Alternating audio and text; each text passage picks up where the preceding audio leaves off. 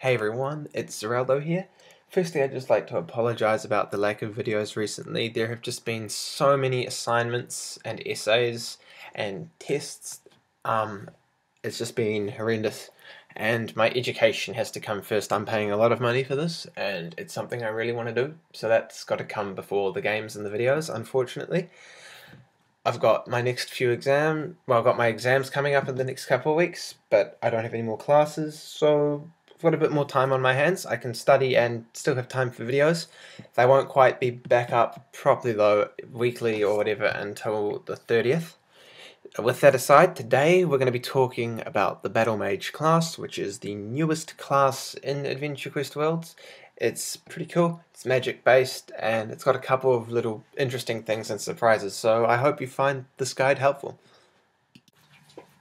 In order to get your Battle Mage class, you can just take the easy shortcut way with your adventure coins and go to the Battle Mage class. Um, it'll be in the class list in Battleon. As you can see, it's quite a big, bulky armor, one of the biggest in the game. It's quite nice. It's got some matching helmets and all that sort of thing. Even so 2000 adventure coins, non-member, or you can do what I did and get a rank 10 Swordhaven. If you get the rank 10 Swordhaven, you go here and you go shops, and you've got Royal Battle Mage. So the only difference between Royal Battle Mage and Battle Mage is that Royal Battle Mage has Royal in its name and is a non-member item for 100,000 gold, whereas just Battle Mage is adventure coins and will be able, and is able to be stored in the bank for ACs. So it's up to you how you want to go about getting that. Despite the fact that level 55 is now the max level, I'd still recommend using your Awe enhancements even though they aren't quite level 55. This is because the plus at level 50 you've got plus 4 which is a few extra stat points which makes it on average a bit more powerful than a level 50 enhancement. Also the special moves that these enhancements do are well worth it because it's only a small little range and you've still got your cape class and helmet enhancements that can be enhanced to higher levels. Specifically for this class I'd recommend Health Vamp or Spiral Carve now, I'll just show you the stats and passives. Um, personally, I think Wizard for this class.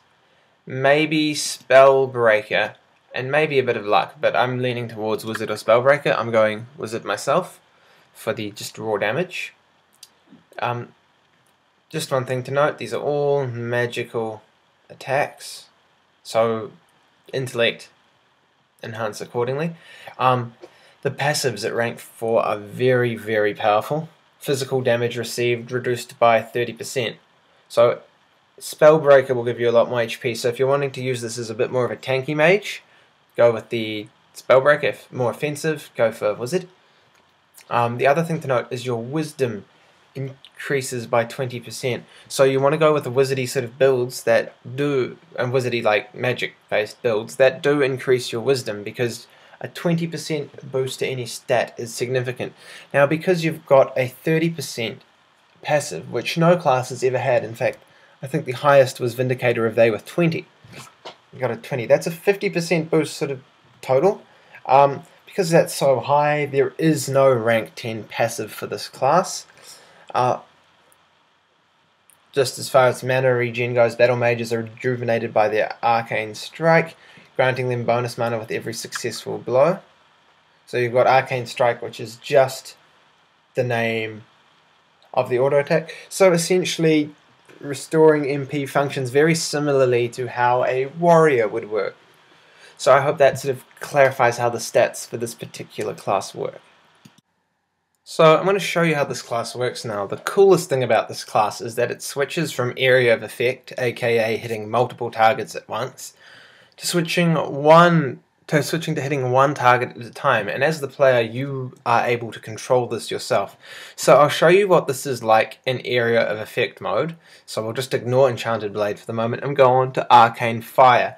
Now this is just an explosive fireball as it says that does that attacks three targets at once for a large amount of damage by large amount they mean in about 500 or so I'll just do that again. Um, you've also got Explosive Shield, and that's quite useful. It's basically a jacked up version of the Mage class's Mana Shield. It sorry, Battle Mage is MP instead of HP, so it attacks your MP instead of HP, as well as reducing the amount your skills cost in that time for 10 seconds. The initial activation of your shield will also damage. So, I don't know how much of a difference you'll notice in terms of damage, but if you look, I'm not taking damage, it's my MP that's going down, and it's not taking a huge amount.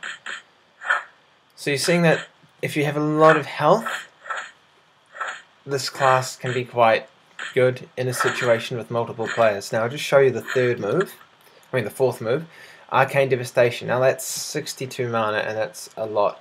It conjures a powerful explosive arcane blast damaging three targets. Um, now this is another effect when you're only taking one, but I'll just demonstrate. It's quite expensive, but it didn't actually use any mana. It's got a relatively large cooldown. In fact, most of these moves have large cooldowns. So you to get the idea, the one I'd recommend starting with would be Explosive Shield. Because that'll stop you taking large damage and let you just attack everything. It is an attack in its own right as well. So as you can see, the damage output when it hits is relatively decent. It's as with most a as with most area of effect classes, you've got the problem where you take a lot of damage. So you generally want to use this in a group situation. But the Battle Mage class is a lot more diverse than your average area of effect class because it also has the Enchanted Blade move, which removes the area of effect capability. So it reduces you to a single target spell. Now, this increases your spell damage and accuracy by 50%. So you, yeah, 50% more powerful, 50% more likely to hit. Now, the auto attack benefits from this initially, uh, even though it's only critting you get the idea. Now, unlike most moves, this move's duration is for the same amount of time as its cooldown, so you just keep that indefinitely active. Now this makes it quite good at tanking because you're doing a fair amount of damage. You've got a large damage reduction and you've got an MP shield, but you've only got one enemy actually harming your shield. Not only that, you can further increase your damage by this. So this is another 30%. Now, I believe that's 180% damage you're doing.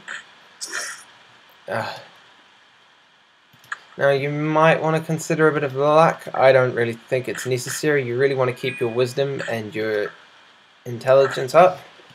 This is a sort of specialized class in that respect. But you know, you're hitting a thousands very commonly. Now, just remember, this is a the Star Sword here is a relatively balanced weapon in terms of damage range. You're not really getting a huge difference. So, um, other weapons like the Soul Ripper, you have huge damage ranges, and the Soul Mender, this is pretty small and narrow, so it's a lot more accurate. So, you've got a lot of options with this class. I really think that's cool. It's the first area of effect class to do this, and I'm looking forward to see if they mess around with these concepts elsewhere. I think it's it's quite pretty, but it's a bit bulky for my liking. So that's my guide for how to use Battle Mage. I hope it helped, and I hope you enjoyed it. I hope that clarifies whether it's worth getting for ACs or all the time for repping. I'll be doing classes on the 50th anniversary class, which comes out in the next two weeks at some point. The Oracle class, which we are going to be getting for a million likes on Facebook. I got my information from Twitter if anyone asks. Um, calendar class for 2014. Now that one will be difficult because I've actually got to wait for a calendar to arrive if I order it overseas. And the Jouster class, which is from the Wheel of Doom. So that could be interesting when that comes up. So those are the four upcoming classes that I hope to do. And now that I have some time, I'm going to be working on Archfiend. It's still going to take me ages to get, but I'm going to be working on it. Until then, take care and see you around hopefully. Bye.